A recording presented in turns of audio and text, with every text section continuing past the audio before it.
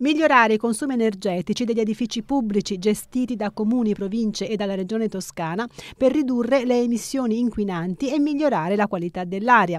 Le assessore regionali Stefania Saccardi e Federica Fratoni hanno illustrato nel corso di un convegno a Firenze i risultati dell'operazione efficientamento energetico avviata due anni fa.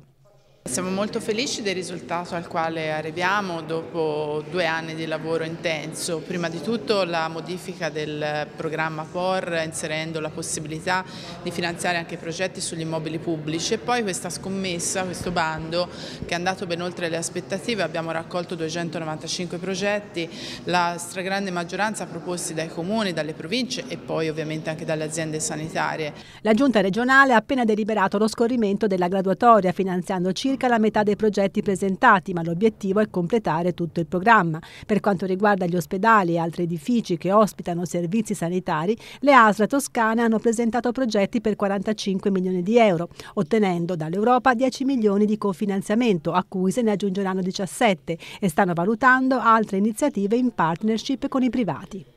Noi comunque paghiamo eh, i consumi energetici con il fondo sanitario che è il solito fondo che poi ci serve per curare le persone e per dare una risposta assistenziale. Quindi ogni euro che riusciamo a risparmiare nel contempo migliorando anche l'impatto sul, eh, sui consumi sul CO2 e comunque sul eh, miglioramento dell'ambiente è un euro in più che noi possiamo riutilizzare in assistenza e in risposte sanitarie. Dal 1 gennaio 2019 è in funzione in Toscana l'Agenzia Energetica Regionale che si occuperà di controllare gli impianti esistenti nelle case come nelle aziende.